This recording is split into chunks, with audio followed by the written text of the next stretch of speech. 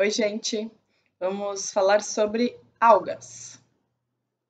As algas são do reino protista para gente, e aí eu tenho características que são comuns a todas elas. Primeiro, elas são todas fotossintetizantes clorofiladas, elas são sem tecidos verdadeiros, não possuem tecidos verdadeiros, órgãos verdadeiros, porque não têm regiões, tecidos diferentes especializados em funções diferentes.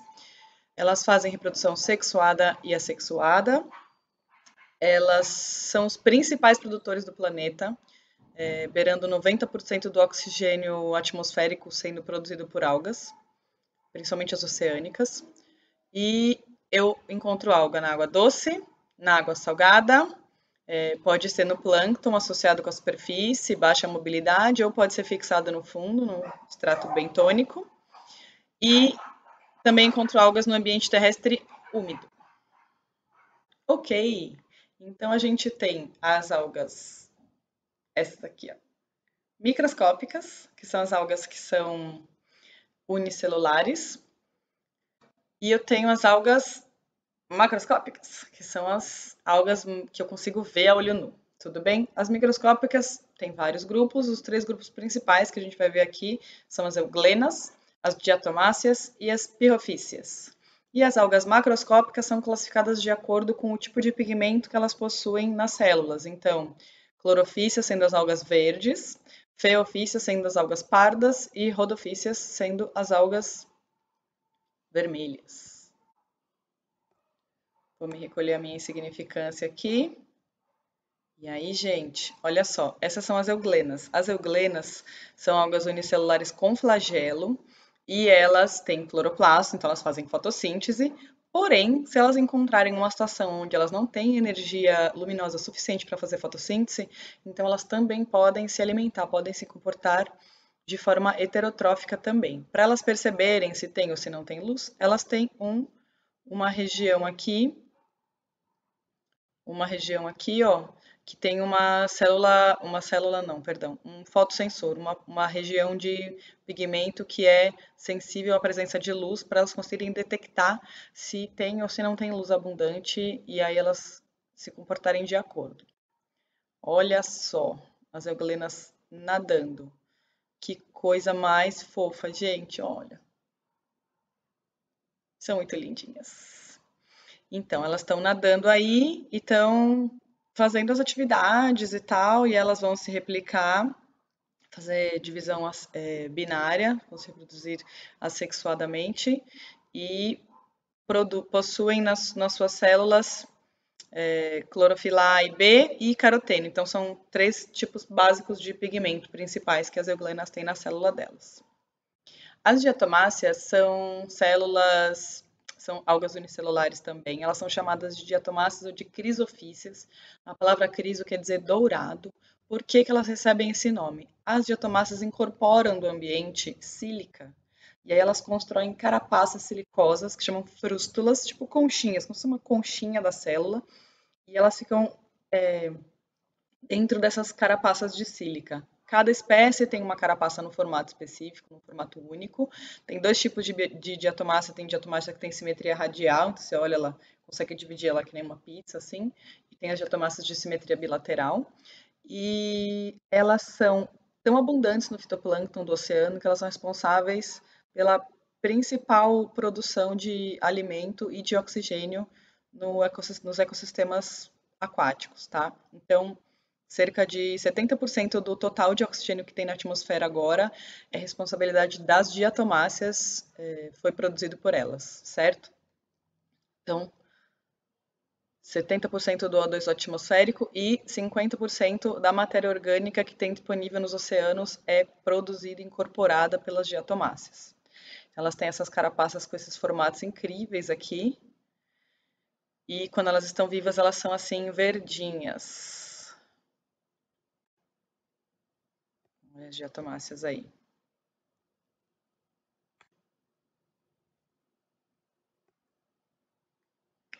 Muito bonitinhas, né?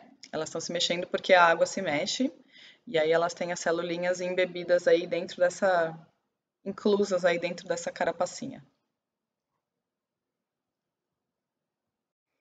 Então, os dinoflagelados, é, são auto ou heterotróficos. Eu tenho, então, dinoflagelados que são responsáveis por causar maré vermelha, tenho dinoflagelados que são bioluminescentes. Os que são autotróficos, eles são fotossintetizantes, então vão ter clorofila e caroteno, e eles podem ser livres ou eles podem ser simbiontes com corais, por exemplo. As zooxantelas são dinoflagelados que habitam dentro dos pólipos de coral, eles vão produzir alimento e vão fornecer para o coral, e o coral, em troca, vai fornecer abrigo para eles, e aí eles vão trabalhando juntos, são, responsáveis pelo crescimento dos corais. É, tenho dinoflagelados que são heterotróficos e podem, no caso da maré vermelha, por exemplo, ocasionar a morte dos peixes e aí depois eles usam esses peixes já que estão decompondo como fonte de alimento. Vão sugar a matéria orgânica de dentro dos peixes. É, a gente consegue ver aqui um dinoflagelado se locomovendo e aí a gente vê que eles apresentam esse movimento que eu disse giratório, porque eles têm dois flagelos, um flagelo que sai vertical e um flagelo que sai de um sulco que fica transversal no corpinho deles, e eles apresentam um movimento meio maluquinho assim. Tudo bem?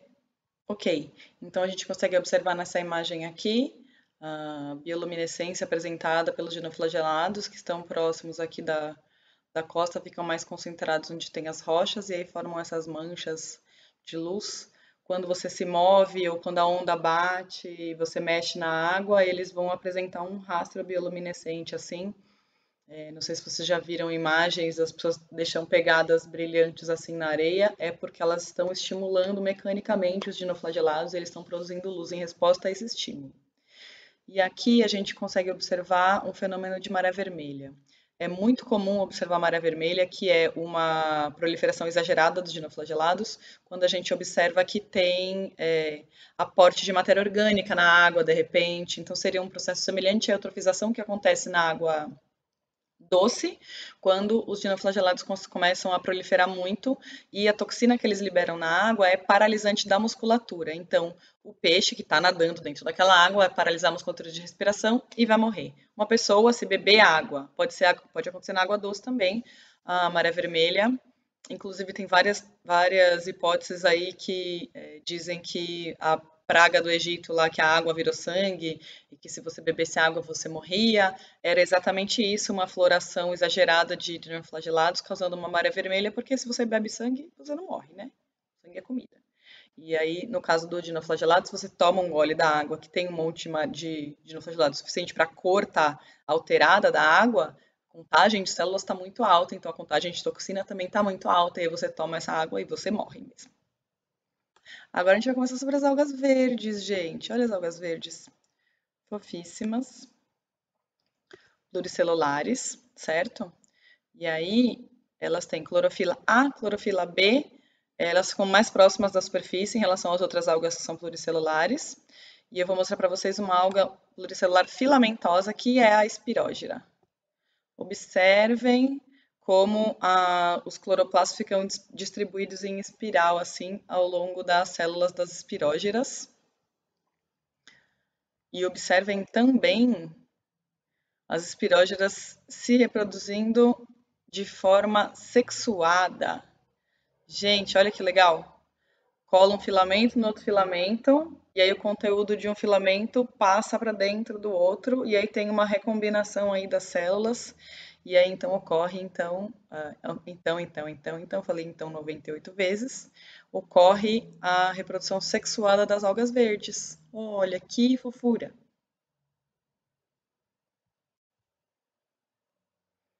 Vou tirar isso do caminho. Feofícias. As feofícias são as algas pardas. Elas têm os pigmentos verdes, que são as clorofilas, e elas também têm pigmentos amarelos, que vão deixar a a alga com aspecto amarronzado, certo? A gente consegue ver aqui uma lontra, que é, na minha opinião, o bicho mais fofo que existe na face da Terra. E ela está ancorada aí numa, num ramo de kelp. Kelp é, uma, é um tipo de alga parda que pode ser usada por humanos em, na alimentação humana. Ela é rica em vitaminas, é, uh, sais minerais que são raros a gente conseguir na nossa alimentação terrestre normalmente, e ela tem uma taxa de crescimento muito elevada. A kelp cresce cerca de 60 centímetros por dia. E aí, então, meu, é uma baita fonte de alimento, não só para as lontras, mas também para a gente.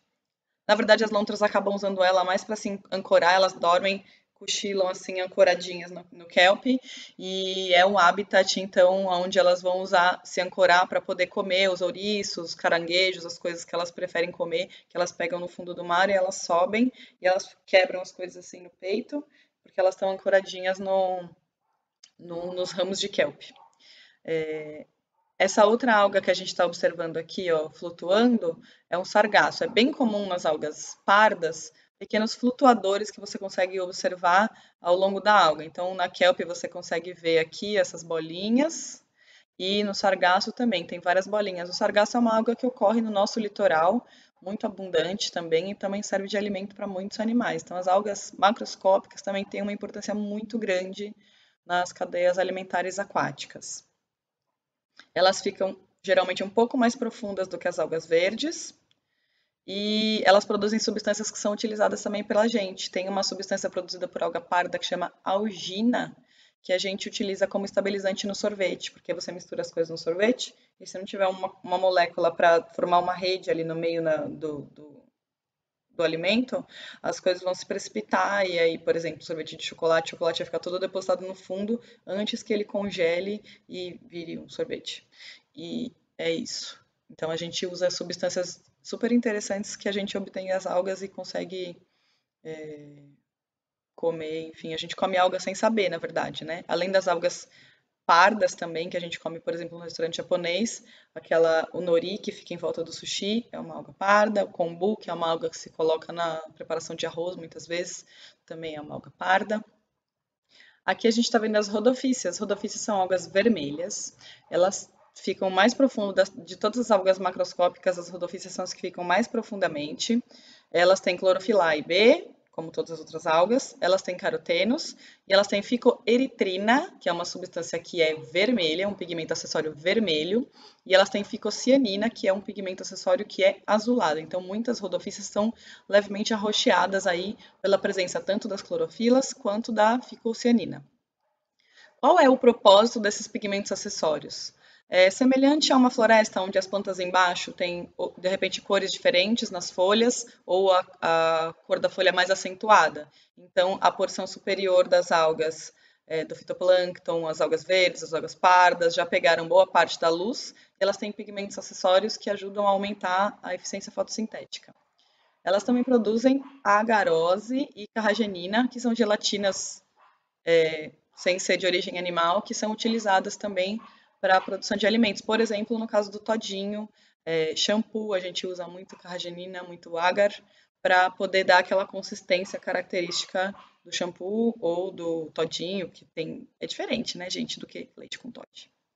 E também muitas algas vermelhas têm carbonato de cálcio e magnésio na composição da parede celular, então elas ficam rígidas, ficam parecendo leques ou essas arvorezinhas assim.